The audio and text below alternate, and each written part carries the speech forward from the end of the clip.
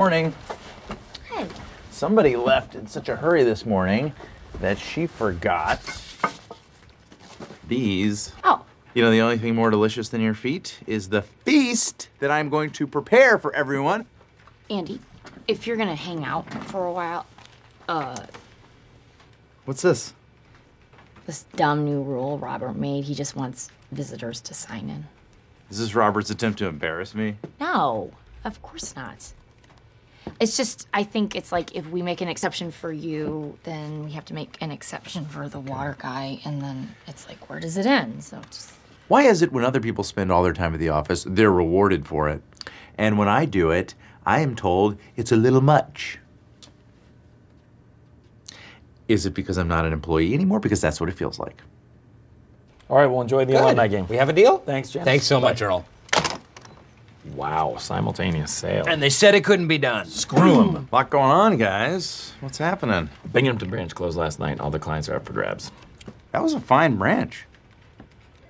Things are really bad under Robert California, I guess. It's like a festival of poo. Hey, hey, come on, language. Yeah, we're not interested in your sour grapes, okay? Jim, tell him where he can stick his grapes. In the fridge. No, Jim, the butt, in his butt. Sorry, man, I can't focus on zingers. There's too many potential clients. You two better watch yourselves. Yeah, the Syracuse branch can't be happy you're taking New York clients.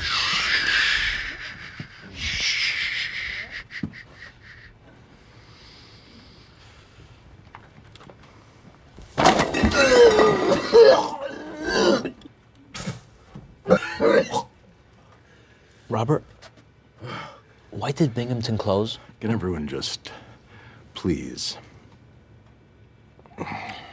I had a one man Saturnalia last night in celebration of the finalization of my divorce. I got into a case of Australian Reds and, how should I say this, Colombian Whites. what, what is this about uh, Binghamton? The branch closed. Forever. But closing the Binghamton branch never occurred to me before today. Or, I guess last night. But in vino veritas, as they say. I'm Not going to start doubting my drunken self now. I got your voicemail from, from last night, Wonderful. and the answer is yes, yes, yes, yes, and never.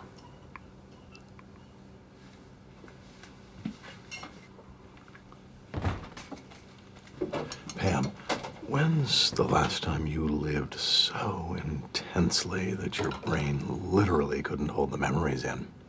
Oh, it was the summer. Apparently, I left a phone message for Nellie last night, and I need you to find out what I said. Um, I am a little busy. Yes. Of course. Why don't you list the things that would keep you from helping me? Yeah, I can make you a list. Let's do it now. What's number one?